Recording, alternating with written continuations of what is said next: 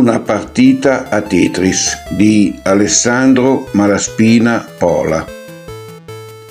Lo sai che tu mi sei simpatico, perché sei di quella specie di persone che si aspetta di avere voglia ancora tutta la vita, di quella razza di chi non ha bisogno di niente per essere in piena forma per sempre, di chi non ha mai una fragilità, un dubbio, un'ombra. Eh, sei fortunato tu perché tanti ti credono e ti seguono come modello.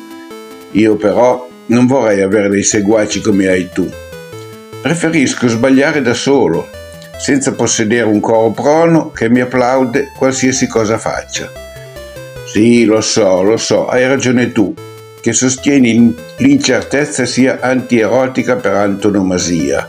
Sia sempre meglio una faccia da schiaffi che un'onesta ammissione di debolezza Meglio puntare fieramente il dito contro gli altri che guardarsi dentro. Ma tu, davvero, mi sei simpatico perché non ascolti mai nessuno, elargisci sempre sorrisi, non sei musone come me. E mentre gli altri parlano, gonfi i muscoli per esibire la tua superiorità. Assecondi quelle persone che cercano il fisico e infastidiscono la mente. No, stasera non mi va di uscire nessuna invidia, per carità. Non ho tutto il tuo fiato per essere sempre performante tutte le sere. Eh, ci mancherebbe. Ma neanche a vent'anni. Ricordi che a vent'anni leggevo Sofocle sul terrazzo della cucina? Invece oggi giocherò una partita a Tetris. L'ho sognato la scorsa notte, come quando consumavo i mesi a 30 anni giocando a Tetris. Mi aveva detto un tuo amico che a 30 anni fossero finite le possibilità di amare e di essere amati già da 5 anni. Sembrava disperato.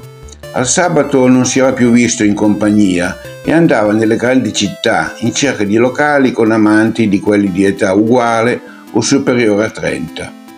Sai, per me giocare a Tetris è sempre stata una maniera per non rispondere alle tue domande. Tu, sempre così perfetto e io pieno di incertezze. Tu il sabato sera hai sempre avuto l'imbarazzo della scelta di chi portarti a letto. Io giocavo a Tetris anche a cena. Mi portavo il piatto di minestra con grande disappunto materno davanti al computer e partita dopo partita in breve tempo diventai un campione di quel gioco, mentre tu arrancavi per raggiungere gli stessi miei punteggi. Una sera, prima di andare al tuo ennesimo incontro galante, mi chiedesti a cosa stessi giocando e così ci prendesti gusto anche tu. Ma mi spiace, non sei mai stato in gamba come me. Almeno questo lasciamelo. Cominciasti ad assaporare il sapore della sconfitta, seppur secondo me piccola come quella di un videogame, trova sempre fondamentale per te essere vincente anche in questo settore.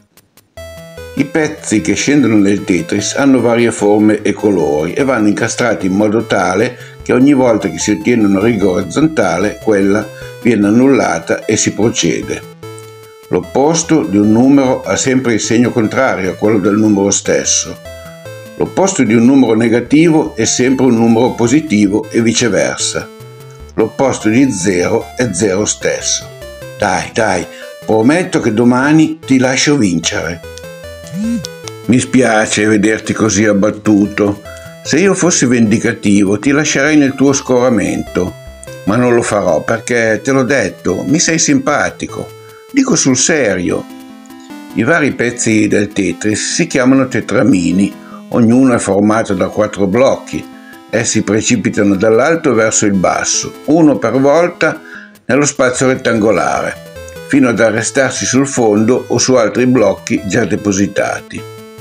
Il compito di chi gioca è quello di ruotarli e muoverli mentre cadono, in modo che quando si posano creino una riga orizzontale di blocchi senza interruzioni. Quando la riga è completa, i mattoni spariscono e i pezzi sovrastanti cadono negli spazi vuoti.